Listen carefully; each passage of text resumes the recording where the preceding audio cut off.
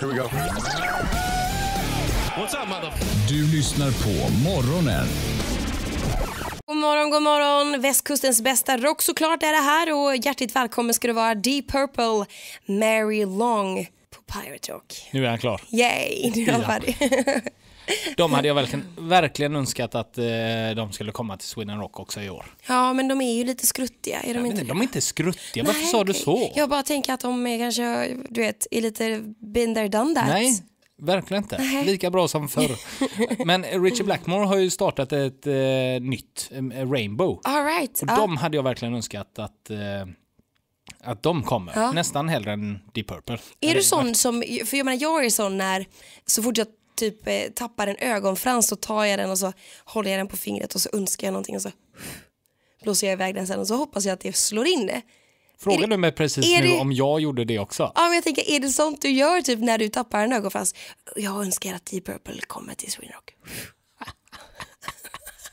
Jag orkar ibland verkligen inte med dig. Nej, vadå Var kom detta ifrån? Varför skulle jag ta en ögonfrans och blåsa den Nej, och men när hoppas att man Deep Purple kom? tappar den. Nej, jag hoppas bara och tänker så att vad roligt det hade varit om Deep Purple kommer. Tänk jag, behöver inte, nu, jag behöver inte bli av med ögonfransar för att önska något, utan jag gör det bara. jo men jag tänker att det finns, alltså det är typ en sån grej att när man tappar en ögonfrans så gör man så. Ja, fast i min värld så önskar jag bara saker. Okej. Åh, vad roligt det hade varit. Du kan slå in ändå, Ja, du behöver inte blåsa iväg en ögonfrans. Åh, vad jag önskar att Deep Purple kommer. Hoppas jag tappar en ögonfrans så Nej. att jag kan önska på riktigt. För annars är det bara låtsas.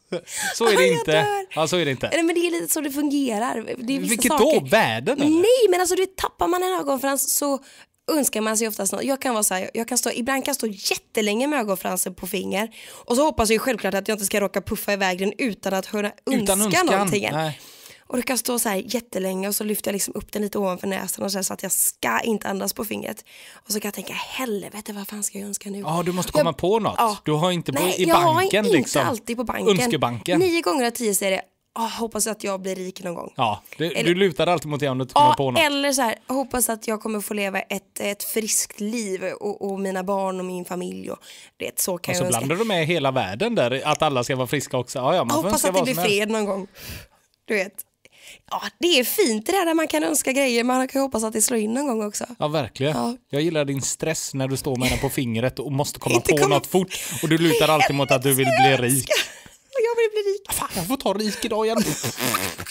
Det slår ju aldrig in. Jävla ögonfransar. Helvete också. Nej, stackare. Ja, nej, men det kan ju vara så, tappar man den så kan man ha det i åtanke. Då kan man ju önska att Antonina ska bli rik någon gång. Om man själv inte kommer på något tänker jag. Mm, ha det i era önskebanker. Mm, det kan vara bra.